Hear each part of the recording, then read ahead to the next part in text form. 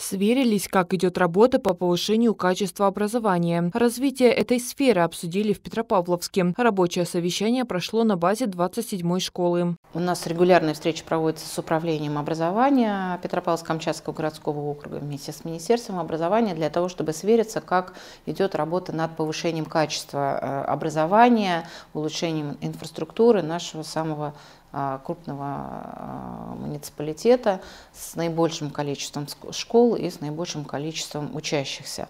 А, в прошлом году коллеги стартовали сразу несколько новинок, которые сейчас проходят апробацию. Это и внедрение новой системы оценки эффективности деятельности руководителей школ, с новыми показателями и а, система предпрофессиональной подготовки школьников в старших классах. Александра Лебедева добавила, что на совещании обсудили и актуальный вопрос благоустройства школ и их участия в программах капитального ремонта. На базе средней школы номер 27, где провели совещание, в 2010 году создали Центр по производству различных полуфабрикатов для поставки в близлежащие школы-спутники, где на тот момент отсутствовали соответствующие условия для хранения и переработки сырья. Эта работа проводилась в рамках федерального экспериментального проекта по совершенствованию школьного питания. Сейчас Центр обслуживает столовые восьми общеобразовательных организаций, поэтому одним из вопросов обсуждения стала тема организации закупок продуктов питания в учебные заведения города.